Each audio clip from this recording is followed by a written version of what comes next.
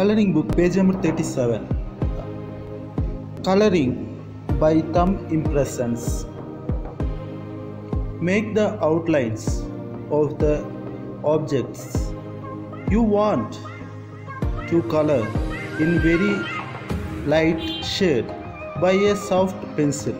Now take post colors in a color plate. Always remember to prepare both thick and then thickness of colors as they both give different effects.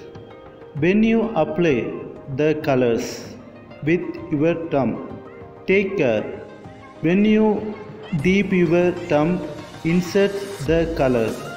Just dip the tip of your thumb only.